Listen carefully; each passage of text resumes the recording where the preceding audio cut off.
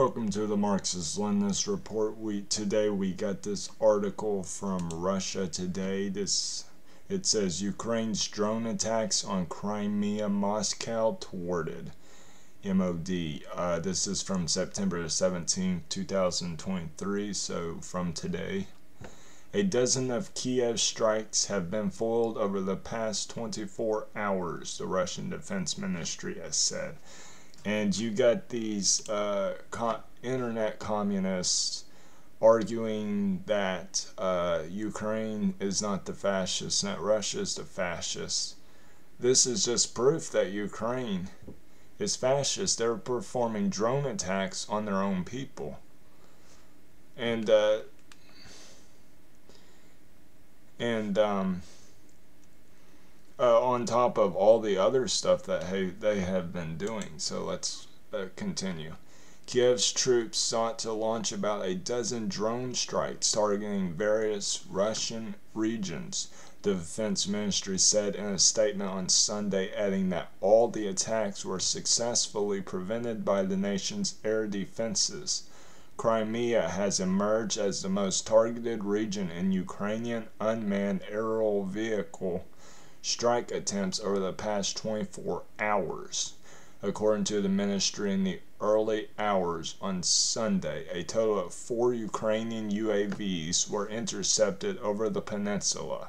The statement said on Sunday evening, Kiev's forces launched three more drones in two attacks in about an hour, it said, adding that all of them were shot down.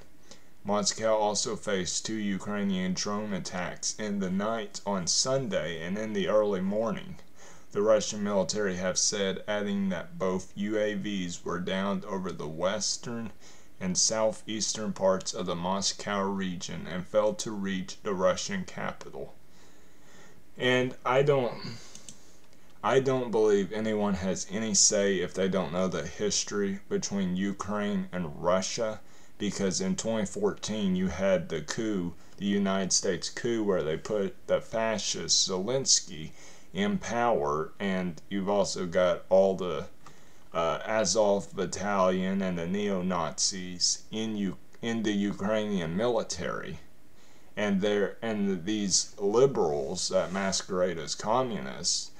Uh, just uh, twist things because a CNN article said so, to say that uh, Ukrainians not fascists, there's no Nazis and all this crap. But uh, if you're a true communist, you're not going to trust CNN or the mainstream media. These are literally corporations telling us a bunch of bullcrap to peddle a war to, to help the military industrial contractors, uh, the military industrial complex, and the military contractors. Let's continue. Russia's Belgorod and Voronezh, sorry if I'm mispronouncing that, region also saw one attempted Ukrainian drone attack each over the past 24 hours, the defense ministry stated. Each of these attacks involved just one Ukrainian UAV, it said, adding that the drones were successfully intercepted in both cases. The Belgorod region borders Ukraine's Kharkov region in the south and the Voronezh region is located next to the Lugansk People's Republic that joined Russia in autumn 2022 together with three other former Ukrainian territories following following a series of referendums. The Ukrainian forces have repeatedly targeted various Russian regions, including its capital, with its drone attacks over the past months. Both Moth UAVs ended up either being shot down or crashing due to signal damaging, jamming.